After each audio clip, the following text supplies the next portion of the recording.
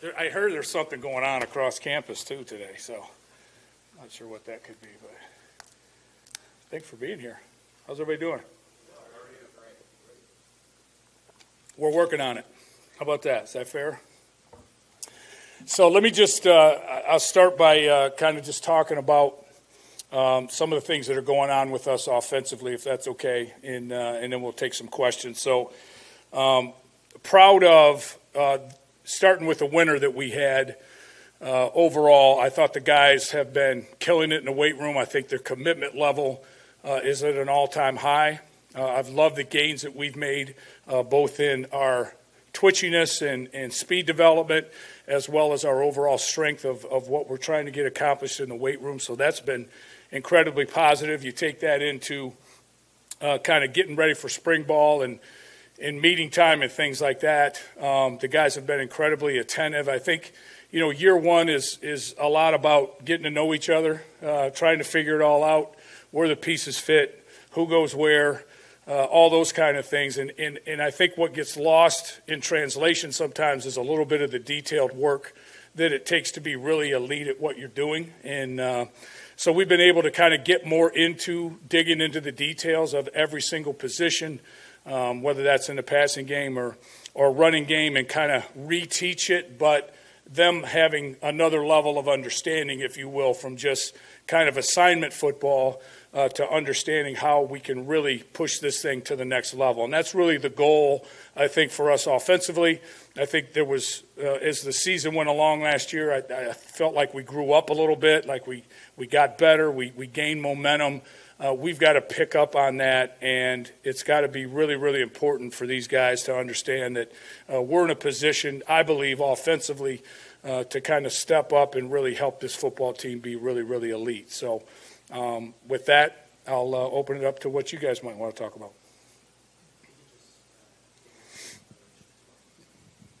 Hey, Mike Wilson, Alexander from the Advocate.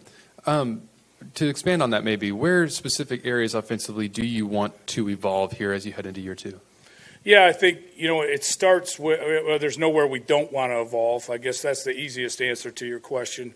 Um, but I think in particular, when it, when I speak about like digging into the details better, you know, uh, spacing in the passing game, um, understanding line movements and stunts and, and different things that people are doing defensively to try to take our run game away from us. Um, you know, being able to block movement up front, I guess, is the, the easiest way probably to explain that. We got to do a better job with that. And then, in particular, passing game wise, just it, it's so critical that everybody understands, you know, where their airspace is um, in what we're trying to do, so that it it puts the multitude of stresses on the defense as we possibly can um, so that we can get people in space and get them the football in their hands. And then there's been kind of an emphasis, at least uh, from our, our part in the, uh, in the passing game, to, to get more catch and run balls, if you will. Uh, so getting have running a little bit more scheme wise where we can get the ball in our skill guys' hands with their ability to turn up field instead of have their back to the goal line catch the ball and be able to kind of burst into, into open space. That hopefully, if we understand spacing, we can help create. Hey, Coach Pat Timlin, uh, NBC 33, Fox 44 here in Baton Rouge. I was curious, um, how are the new tight ends looking, um, Jackson and Mac, and what have you kind of known or seen from them in the early stages of camp? Yeah, incredibly pleased with those guys. You know, um, they're, you know, I mean, the old saying is is true of of any especially early enrollee, they're drinking through a fire hose and, and having a hard time keeping up mentally with what we're doing right now, but that's natural. And, and you know, but as far as ability and, and what I think they're going to be able to lend to our overall effort as a, as a total offense, uh, moving in a really positive direction. And um, they're both, I think, going to play uh, some factor in what we do in the fall. So it's exciting to see those guys develop. Yeah, uh, hey, uh, Glenn West with Go247. Just uh, if you could expand on them a little bit, just what, what does each of them do well, and just kind of how do you see them fitting into to what you guys are doing? Yeah, I mean, I, I think Mac is probably a little bit farther along physically, um, in that, you know, I think he can give us that physical presence um, that we lacked at times in the run game uh, a year ago, so he can give us some, some good good things in there. It's not that he can't run and catch the ball, but I'd say right now that's his strength, um, where he's going to be able to kind of leap in front of the crowd, if you will, and, and, and help immediately. Uh, Jackson is a guy who probably needs a year in the weight room to really get physically in a position where he can block uh, the defensive ends that we have to face in this league. Um, but he is way up on the scale as far as running and catching the ball and making plays in space. So I think there's a good yin and yang and a complement to those two guys that can obviously lend some support to Mason Taylor and, and, and some of the other guys in the room and, and give us a, a pretty dynamic group in there. A follow up on Jackson, I presume you probably recruited him at Cincinnati. So, how was that decision getting him to come here and play for you guys? At Yeah, I mean, it was, uh, you know, when uh, things happened the way they happened and there was a change, obviously, in what was going on at, at Cincinnati, it, it gave us an opportunity to kind of crack the door open a little bit and have a conversation. And we were at the point where we had decided that we needed to take a second tight end uh, in last year's class, and it kind of timed up almost perfect where he was available and we were in need. And, and uh, it was great to already have that relationship established with the family and, and, uh, and, and know him inside and out and what he could bring to the program if we got the opportunity to get him here.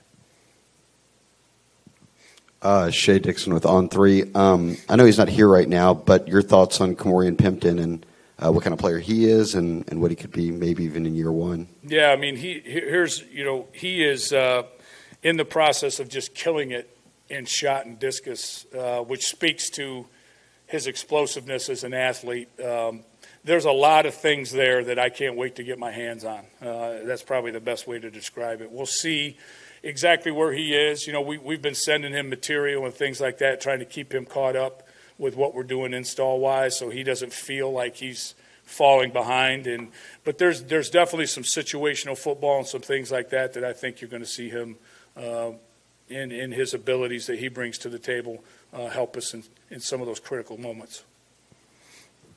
Hey, how you doing? Adam Nay with WWL TV in New Orleans. Just wondering what what's the next progression for two guys, Jayden Daniels, number one, and then Mason Taylor, number two. What's the next step for for those two? Yeah, I, you know, let's start with Jayden. I think you know Jayden's ability to uh, push the ball down the field consistently.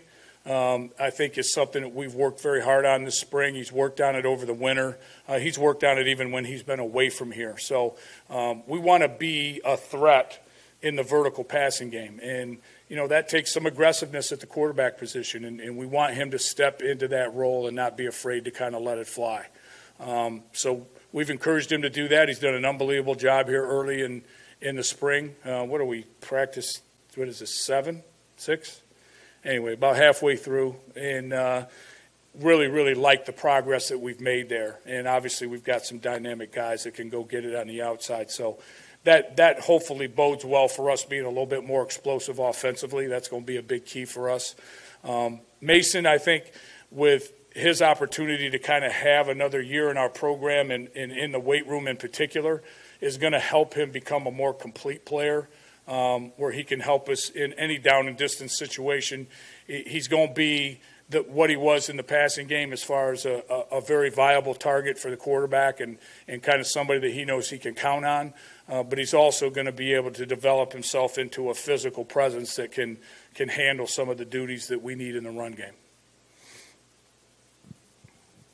Mike, to follow up on that uh, downfield passing element with Jayden, how is that something that you actually go about coaching with him? Is it as simple as like you need to go and do this and really, really drilling that into his head, or like are there certain things that you can do from like a schematic or drill standpoint sure. to increase that? Yeah, I mean, I, I, will be honest with you. I think more than anything, um, it's a mindset that you have to drill just like you drill any other mindset. So if you're going to be a team that is uh, a power team and you don't run power very much in practice, then you're going to it's a hard it's hard to make it come out as a play caller when it's time to to call it. And I don't know that I scripted it enough in practices and, and things like so that's been the biggest adjustment. It's something that you have to make yourself do, quite frankly. It's a lot easier to uh, whoop, excuse me. It's a lot easier to call another hitch route uh, knowing that it's going to be complete than it is to take a shot down the field. But as a coach, we've got to be willing to do that, and we've got to be able to practice those things every day in practice and force the ball down the field and just develop that mentality of that's how we're going to play the game. Coach, how have you seen the offense take steps forward this spring, last spring compared to the, I mean, this spring compared to last spring?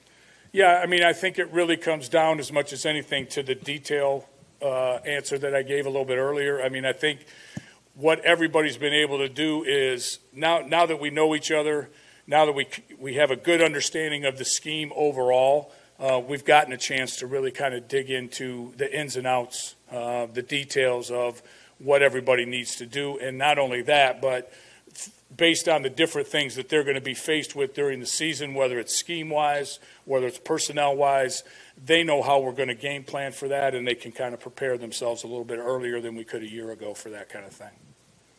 Hey, Coach Koki Riley with the Advertiser. Um, how has sort of the lack of depth you guys have in the offensive line this spring? How has that sort of affected things when it comes to you know implementing new schemes, all that sort of stuff? Yeah, it's been a challenge, and uh, you know it's it, it, affects us. You know, offensively, obviously, we, we've had to move a couple guys over from the other side of the ball who. Um, you know, have been here playing defensive line. They haven't been playing offensive line. So it's been a minute since they've had to do the other side of it, and uh, so that's that's going to take a little adjustment. We've been pretty basic with our second group, just to kind of let them get their feet on the ground and and, and get used to, to to working together a little bit more. But it's definitely a challenge, and it's something from a you know Coach Kelly's done an unbelievable job of of kind of scripting practices so that you know the numbers have not been a factor as big as you would think they were up to this point because we've kind of spaced things around um, what we've got going on offensive line wise and numbers wise there. Um, and it's a balancing act. Obviously, you got to still get your work in, um, but you you know you've got to you got to be mindful of the numbers that you have there at the same time. Hey, coach. Um, what can you say overall about all the new guys, like the recruits, the transfers, like Ricky and everyone? What has pleased you like the most about them so far? Just at their level of competitiveness. You know, we we've got competitive guys in this program, and and there's a desire for them to achieve the goal um, of graduating champions, and they go out to work every day with that attitude about them, and um, they're serious about it. They're making good decisions.